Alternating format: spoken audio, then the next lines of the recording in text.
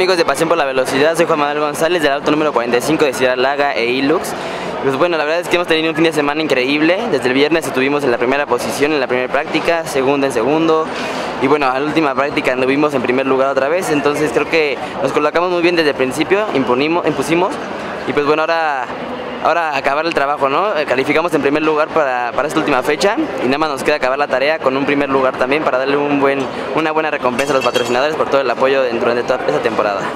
Con estas imágenes arrancamos la última etapa y la gran final del campeonato de NASCAR México con la presentación de todos los pilotos de las dos categorías, NASCAR Peak México Series y la NASCAR Challenge. En este primer video resumen les tenemos la carrera de la NASCAR Challenge, competencia pactada a 45 minutos, ahí con las gradas llenas del autódromo de los hermanos Rodríguez este pasado domingo 12 de noviembre del 2017. Sería la fecha número 10 para esta categoría de la NASCAR Challenge con los honores a la bandera como ya es tradición dentro del campeonato, carreras que nosotros aquí en Pasión por la Velocidad se las llevamos todas, todas las competencias de la NASCAR México. Arrancamos con Juan Manuel González, el Poleman, 44 segundos, punto 489 milésimas. Ahí dándose de topetazos ya Jorge Contreras Jr. y Fabián Belter en la arrancada. Este video es traído a todos ustedes por todas las llantas.com.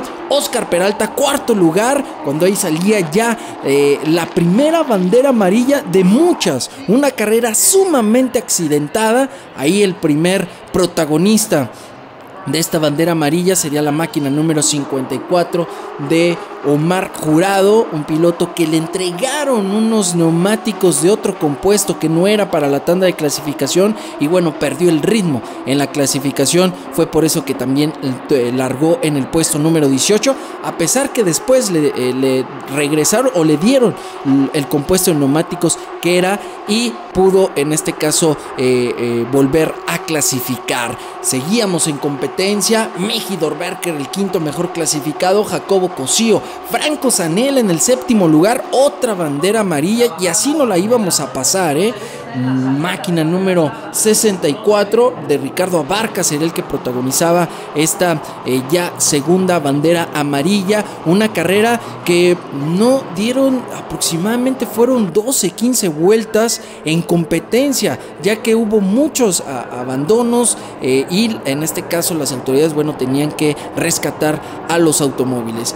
Miren esta situación bastante compleja que ya es, eh, pues desgraciadamente tradicional en el Autódromo de los Hermanos Rodríguez. Hay muchas canchas, tanto de foot, de base y también de básquet. Hay esa cancha de foot pegadita literalmente a la pista y existen dos.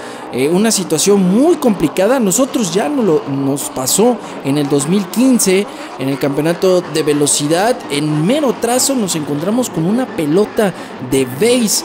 Eh, los autos no tienen mayor inconveniente, ¿no? Si se mete una pelota, eh, ya sea de básquet, de fútbol, de base. De hecho, pasó este año en el campeonato WEC del, campeonato de resistencia de automovilismo también una pelota de base. Pero imagínense una pelota de base o de foot eh, cuando estén corriendo las motos.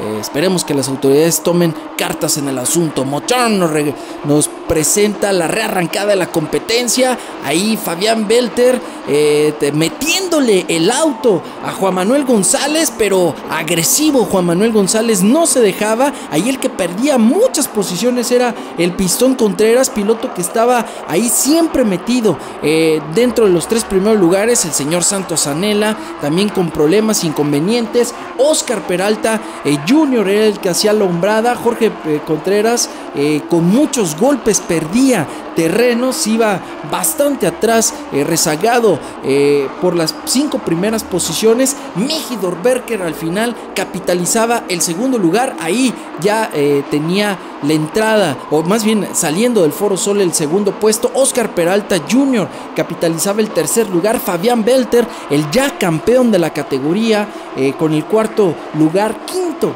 para Oscar Peralta.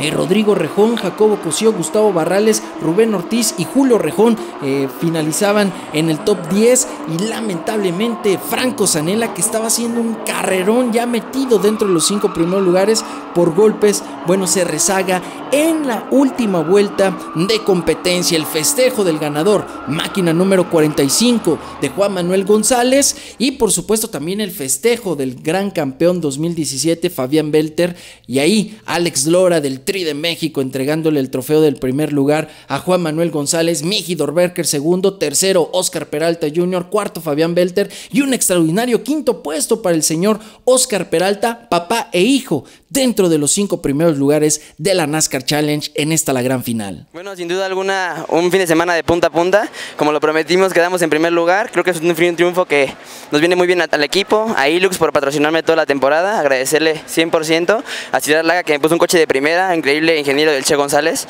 Y pues ahora sí que a festejar porque el próximo año esperemos que sea mucho mejor.